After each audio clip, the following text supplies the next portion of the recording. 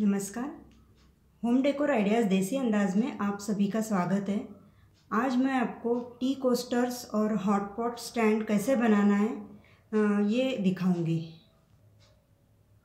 आठ प्रकार के मैं टी कोस्टर्स बनाना सिखाऊँगी। सबसे पहले मैं ये रस्सी वाला दिखाऊँगी आपको। इसके लिए मैंने एक इतनी रस्सी ली है, जो किसी भी हार्डवेयर शॉप में हमको मिल जाती है। अब इसको हम एक ग्लू लिया है, फेविकॉल ले सकते हो आप, या हॉट ग्लू गन्स का भी इस्तेमाल कर सकते हो। इस टाइप से आप ये हम राउंड राउंड लगाएँगे, उसको फेविकॉल लगा दे जाएँगे और उसको बस थोड़ा राउंड राउंड करते जाना है, इस टाइप से। आप हॉट ग्लू गन का भी इस्तेमाल कर सकते हो।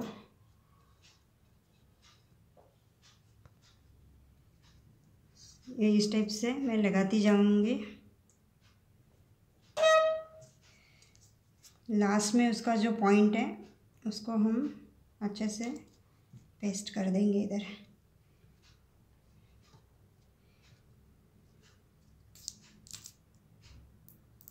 इस तरह से आप बड़ा हॉट पॉट स्टैंड भी बना सकते हो। ये मेरा छोटा टी कोस्टर हो गया। इसको मैं सूखने के लिए रखूँगी। ये इस टाइप से मैंने एक ये छोटा वाला टी कोस्टर बनाया जो अभी आपके सामने, ये मैंने पहले ही बना के रखा था। जैसे इस टाइप से बनता है ये। और ये hot pot as a hot pot stand आप यूज़ कर सकते हो। आपको जितना भी बड़ा करना हो उतना कर सकते हो। इसको हम पेंट भी कर सकते हैं। और एक्रेलिक कलर यूज़ करके मैंने ऐसे ही रखा है। आप चाहो तो उसको पेंट कर सकते हो। ये हो गया पहला टाइप दूसरे टाइप के लिए मैंने ये मेरे पास एक पुरानी जीन्स थी, उसका ये गोल आकार का कपड़ा काट लिया है। और ये मेरे पास कुछ पेबल्स है, जो किसी भी शॉप में मिल जाते हैं जनरल शॉप्स में। अब मैं इस पर ये जीन्स के कपड़े पे हम पेबल्स ये कर देंगे पेस्ट कर देंगे।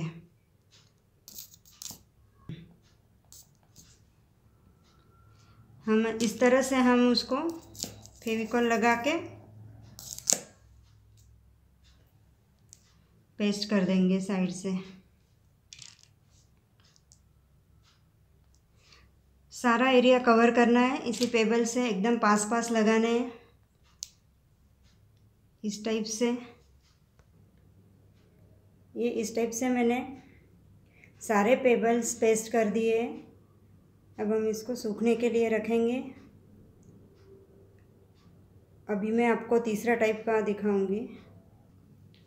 अभी ये एक और प्रकार का मैं हॉटपॉट स्टैंड बनाना सिखाऊँगी। इसमें मैंने वही जीन्स का कपड़ा मुझे जितना चाहिए था उतना मेज़रमेंट करके ले लिया है, काट लिया है मैंने। और ये मेरे पास कुछ पत्थर हैं छोटे छोटे वो हम इसके ऊपर पेस्ट करेंगे और इस टाइप से ये बनाएँगे। ये जो पत्थर है ये आ, अभी आप आप देख सकते हो काफ़ी चमकीले दिख रहे हैं। इसके कारण ये है कि मैंने उसके ऊपर वुड पॉलिश किया हुआ है। वुड पॉलिश जो आता है वुड को पॉलिश करने का वही मैंने इसके ऊपर ब्रश से किया है ता इसलिए ताकि ये काफ़ी चमकीले लग रहे हैं नहीं तो ऐसे दिखते नहीं हैं वो।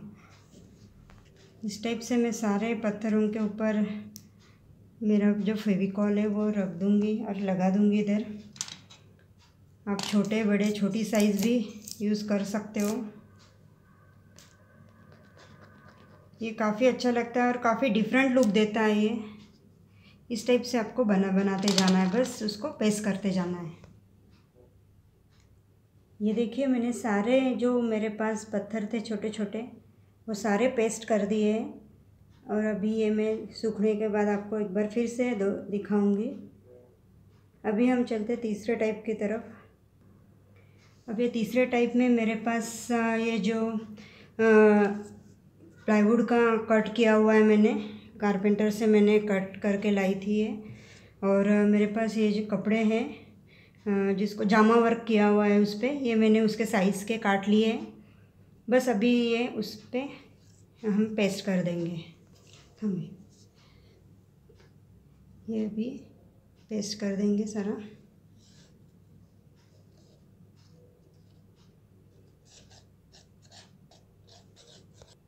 ये मैंने इसके ऊपर पेस्ट कर दिया है।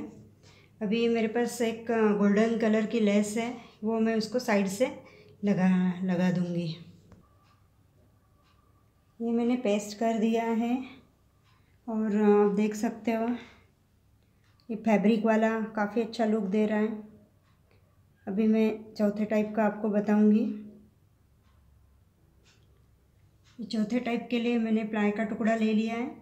अभी ये मेरे पास कुछ स्टार्स और क्रिस्टल जिसको बोल सकते हैं क्रिस्टल्स है ये मैं इसके ऊपर पेस्ट कर दूँगी और आपको दिखाऊँगी कि चौथे टाइप का आ, कैसे बनाते हैं कोस्टर। वो सब पेस्ट करने से पहले मैं पहले इसको पेंट कर लूँगी। मेरे पास ये एक्रेलिक फेविक्रिल कलर है येलो कलर है, मैं उससे पहले पेंट कर लूँगी। इस टाइप से ना आप ये डेकोरेट कर सकते हो। मेरे पास दूसरे भी क्रिस्टल्स हैं, वो भी मैं लगाऊँगी। फिर मैं डेकोरेट कर रही हूँ। इस टाइप से मैंने सारे क्रिस्टल्स लगा दिए हैं और ये इस टाइप से दिख रहा है। अभी पाँचवें टाइप के लिए मैं आपको बताती हूँ कैसे करना है। ये मैंने वही प्लाईवुड का एक टुकड़ा लिया हुआ है और ये मेरे पास कुछ बाम्बू की आ, स्टिक्स है।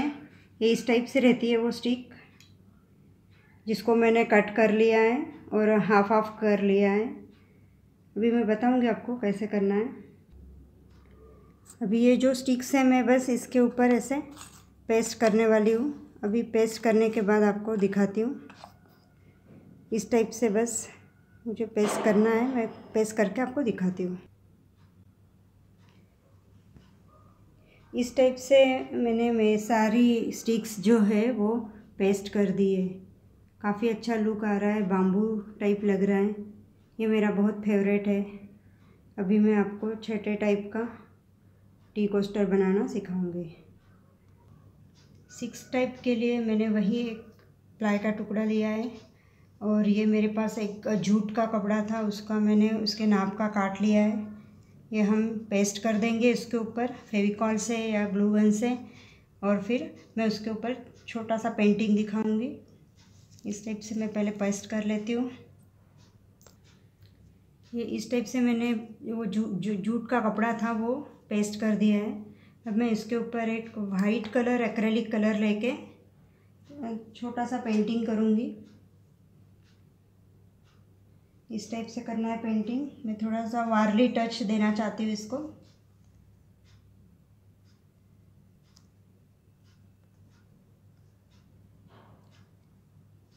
वाइट कलर या आप दूसरा कलर भी कोई सा भी चूज़ कर सकते हो उसके लिए।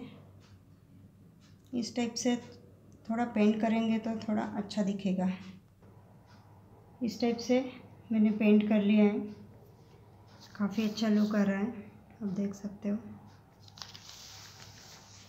अभी सातवें टाइप में आपको दिखाऊँगी कैसे करना है।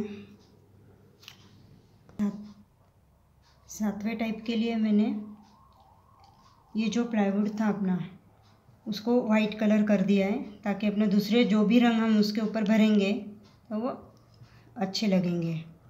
इसके ऊपर आप कुछ भी डिज़ाइन कर सकते हो। मैं पहले पेंसिल से एक चिड़िया बना लेती हूँ, और फिर उसके, उसमें मैं कलर भरूँगी।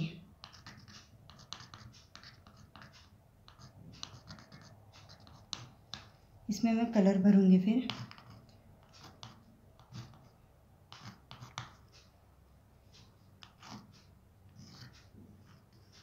आप कुछ भी डिज़ाइन डाल सकते हो। मैंने चिड़िया का डाला है।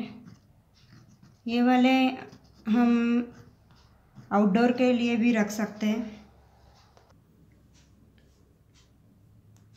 इस टाइप से आप पेंट कर सकते हो, कुछ भी डिज़ाइन डाल सकते हो जो आपको अच्छी लगे।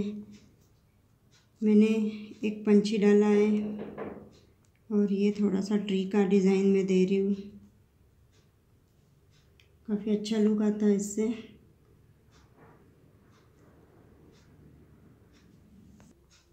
इस टाइप से मेरा पेंटिंग मैंने पूरा कर दिया है।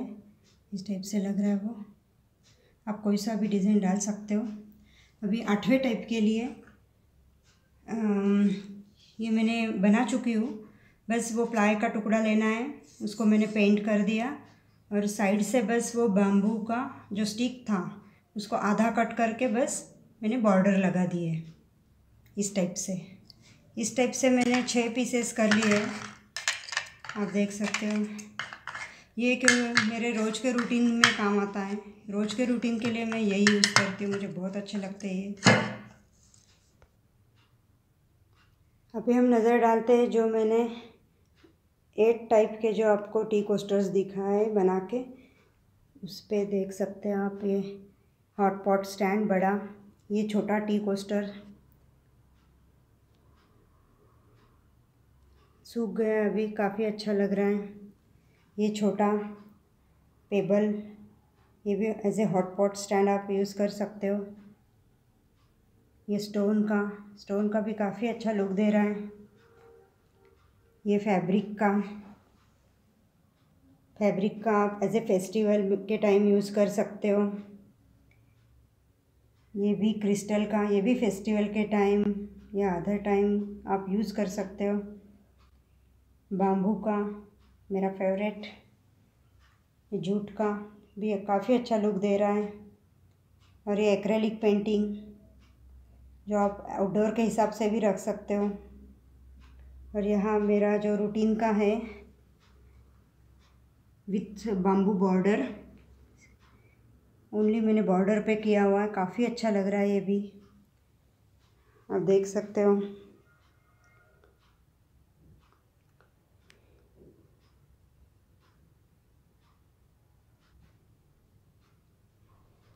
इस टाइप से।